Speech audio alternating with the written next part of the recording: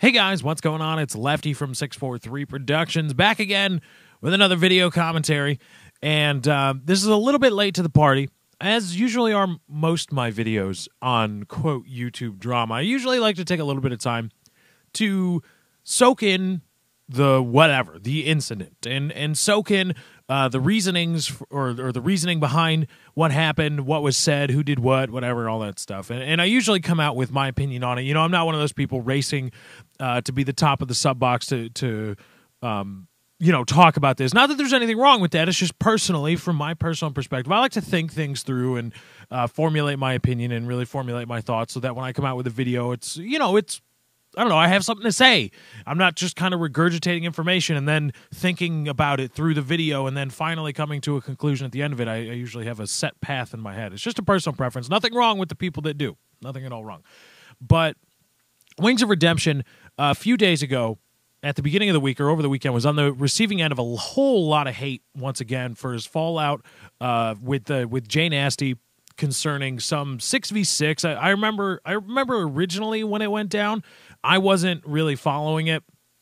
Uh, so I don't know who exactly said what, but it got to the point where Jay Nasty and Wings of Redemption were set to have a six v six. Wings is Wings and his crew versus Jay Nasty and his crew, and Wings pulled out. He put out a video. He said, "I'm not going to do it," and uh, of course, thankfully, Wings I think uh, disabled comments and ratings uh, on that video, and uh, and I think that was a smart choice because I know Wings, he's a very visceral kind of guy, and just the the sheer amount of hate that would have been just so focused. He still gets a lot of hate, but the hate focused on that video, I think, would have been just unbearable. But uh, I want to talk about what happens in YouTube when you predicate your channel on one thing. Now, I will say this: Wings of Redemption got himself into that mess. I, I don't remember exactly what was said, but I remember from just scanning Twitter uh, that night when it was like, oh, 1v1 me, or Jay Nasty said something about a 1v1, and then Wing said something about a 1v1 is doesn't prove anything, and then he said 6v6, you, your six versus, or your five versus my five, or you and your five versus me and my five, something like that. And it was Wings of Redemption who originally um, brought up the idea of a 6v6. So he got himself into it. And I mean, I there's nothing else I can say about that. I'm not here to try to be like, oh, it was all Jay Nasty's fault. Leave Wings alone, all that stuff. Wings, Wings, a big boy. He got himself uh, into a situation, and and he thought it was he he took a step back and he thought about it. and He said, no, not for me. And I'm here to explain why he thought that. Here's the thing: when you predicate your channel, when you build your entire channel around one thing, you can't do anything else. You just can't do it somebody that plays nothing but Call of Duty, Call of Duty all the time, all the time, all the time, all the time, all the time, can't upload anything else. They can't. They just can't do it. Look at look at any anybody else trying to branch out. Look at the growing pains they go through. Look at all the all the heartache, all the things they have to go through because they make videos just like everybody else. They make videos to get watched, to get views. And when they don't get views, it's it sucks. And look at all the growing pains that all these people have to go through. Same thing with Wings of Redemption. Wings of Redemption is predicated, for the most part, his channel on being good at video games, specifically being good at Call of Duty. And this is why the Syndicate thing was such a big deal when it happened last year. Because Wings of Redemption, who up to that point had told anybody and everybody about the game and how to be good at it because he's good at it, all of a sudden appeared not to be so good at it. And that is what he was setting himself up for with this 6v6. Now, I have to applaud Wings because he took a step back and he said, "Meh, I'm not going to win." He knew. He said, "I'm not. I, am going to lose. I'm probably going to get my ass handed to me."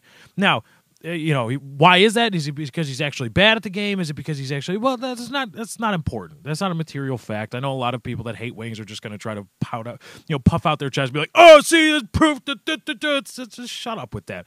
Okay, he whatever, whatever you want to say about him. He sucks. He's fat. He whatever. Okay feel good about yourself by kicking a guy that that obviously um, where uh, pours out his emotion on YouTube. But okay. Uh, but that's why he did that. That's why Wings took took a look at at that situation, which again he got himself into.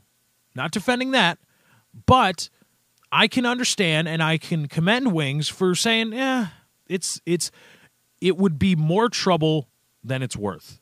whatever happened, because especially considering he he said I'll probably lose, and that happens. And when you predicate your channel on being good at Call of Duty, when you lose at Call of Duty, everybody and, and look at look at it this way. Look at anybody else that does anything else. This isn't just wings. This isn't just being good at Call of Duty. Jay Nasty would have the same problem. Same problem if he would have lost. If Wings would have somehow beaten Jay Nasty, Jay Nasty would have had the same exact problem as Wings of Redemption. Same exact problem. Same thing with all these MLG guys that are doing YouTube too. All these guys that are saying, "Look how good I am at the game. Look how good I am at the game. I'm MLG, MLG." When they lose, they get in trouble. Look at me. I predicated my channel on being an intellectual. Same thing with Hutch. Go look at my comments. Go look at his comment section. All of their uh, what haters I have and what haters Hutch have are all all of them people trying to out intellect him. Out, out trying to out intellect me. People hang on every single word I say, trying to look for any impropriety they can to try to say, "Oh, blah, blah, got him, got him." See, he was so intellectual. Look, I got him now. That son of a bitch. God dang it. And that's what happens. That's what happens in YouTube. So I applaud Wings for having the balls to say, "Nah, fuck it." He got it. He got himself into it. He got himself into the mess. Don't. I mean, he's a big guy, big boy. Got himself into a predicament of his own making, but the way he handled it, I think, was the best for him emotionally, at least from an, from an emotional standpoint.